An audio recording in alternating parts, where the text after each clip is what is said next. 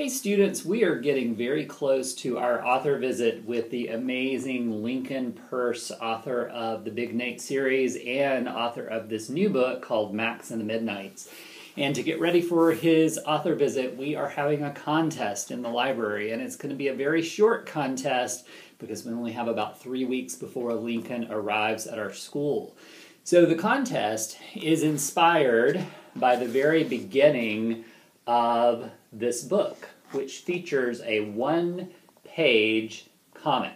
So I'm going to share this one page comic with you um, and then tell you about the contest. So, in the opening page of the book, this one page comic says Dear reader, Mrs. Godfrey, here's my book report on Max and the MidKnights. What? Nate, you were supposed to read a book about history. It is about history. It's set in the Middle Ages. And it's chock full of great characters. Max, an apprentice troubadour. Yeah, but I want to be a knight. The MidKnights, a merry band of misfits. Misfits? Honk. Mumblin, a retired wizard. Abracazam. Ghastly, a cruel king off with everyone's head! This book has everything action, adventure, thrills, and tons of hilarious jokes. Roar! There's even a genuine dragon. That's not history, you idiot. It's fiction. Oh, and there's also an evil witch in the story. Sound like anybody you know?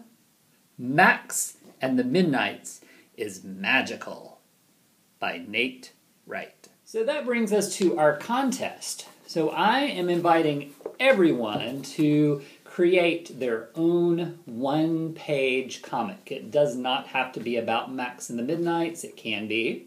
It doesn't have to be about Big Nate, but it can be.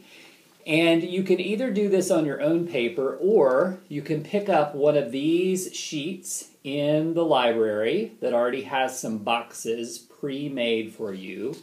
And your goal is to create a comic that is told beginning to end in one page. Now, what we're going to do with these comics is we're going to use them to decorate for Lincoln Peirce's visit. So your comic will be hanging up on the windows of the library and out in the hallways for Lincoln to see when he comes. So that's a pretty big deal in itself just to have your work seen by Lincoln. So you want to make sure you put your name on it.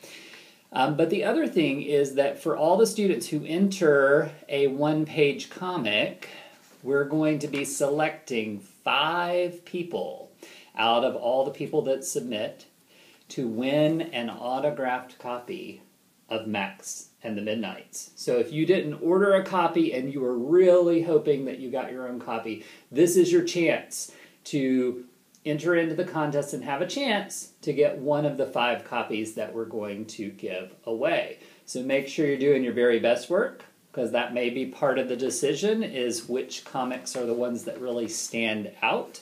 Um, that's really what I would like to look at the most to make the decision instead of it just being a random drawing, is to really look at who created the most entertaining comic in one page.